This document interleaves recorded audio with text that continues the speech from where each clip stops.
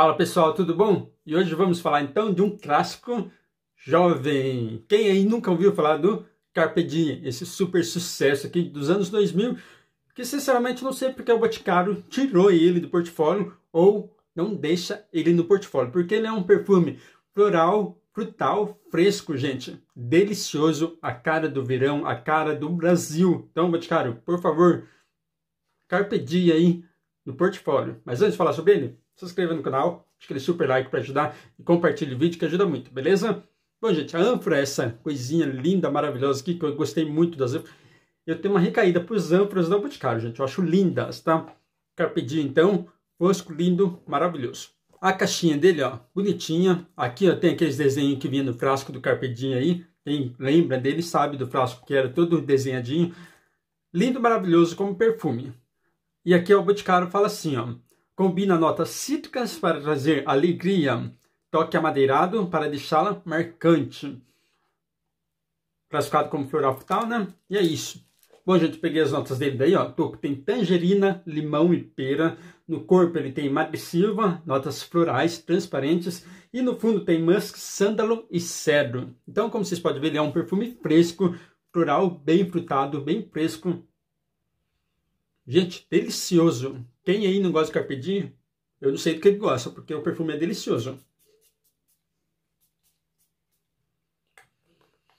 Ai, que delícia! Gente, a saída dele é muito frutal. Se você gosta de perfumes frutais, fresco, com certeza você vai amar o Carpe Diem. Tem uma pera muito evidente na saída dele, com tangerina, que é deliciosa. E daí, nesse limão que fala que tem, eu creio que é uma raspinha de limão, porque é um círculozinho de limão ali, para dar um toquinho só, mas evidente para mim mesmo é a pera com tangerina. É muito frutal, é delicioso. É aquele perfume a cara de praia, a cara de verão, de primavera verão, dia a dia, assinatura, qualquer hora, qualquer ocasião. Carpe Diem. Delicioso, gente.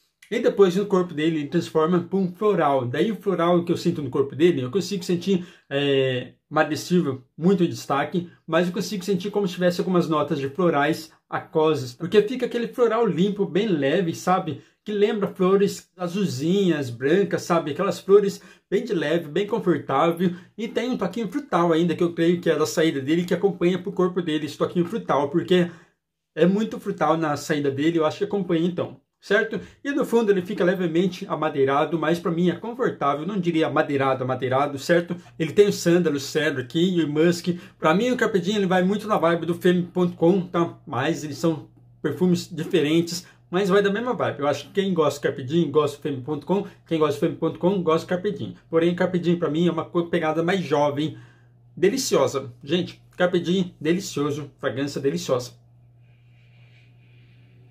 muito gostosa. Bom, quanto à performance desse perfume aqui, na minha pele, ele projetou mais ou menos aí, vamos dizer assim, 20 minutos, uma projeção mais baixa de todos que eu testei aqui até agora, é tipo, passou, vem aquela salada de fruta, muitas frutas, muito evidente, daí depois some, do nada. Daí ele fica rente a pele aí e fica floral daí. É uma mágica que a Boticário faz aqui que some, que é uma beleza o, a projeção dele. Bom, e a fixação dele, mais ou menos 3 horas e meia, 4 horas na pele, depois fica muito rente à pele. Então, para mim, de todos aqui, foi o que menos fixou, o que menos exalou, certo? Bom, se você gosta de Carpe Diem, tem gostado da fixação da projeção dele, porque para mim, Carpe Diem nunca foi bomba, nunca foi potente, tá? Foi mais potente que esse aqui, mas nunca foi muito potente, certo? Mas hoje em dia está bem fraquinho, então é para quem gosta. Ele é um perfume fresco. Se os perfumes que eram bombas já venham bem moderados nas ânforas, né? Imagine perfume que não era bomba, que era moderado. Vai o quê? Nem vou comentar. Então é isso, gente. Esse Carpe Diem. Quem gosta de Carpe Diem, deixa nos comentários. Quero saber como saiu na pele de vocês. Quem gostou. É aquele perfume bem tranquilo, bem rente à pele, bem consigo mesmo, vamos dizer assim. É para quem gosta, certo? Para quem gosta, todo mundo gosta, na verdade.